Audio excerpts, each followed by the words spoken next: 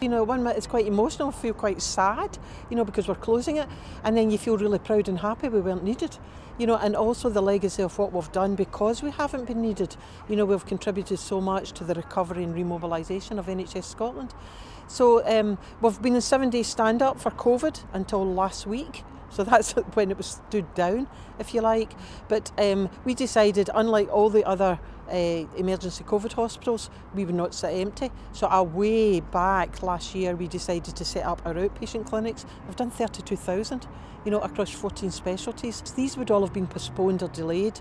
Um, so even if we have just saved or contributed to someone getting early diagnosis of something suspicious or to get quicker care and treatment, or just to put them at ease, you know, that so that just we're passionate about that and we're really proud. It's not just about being COVID ready; it was about all the other stuff we've done to date.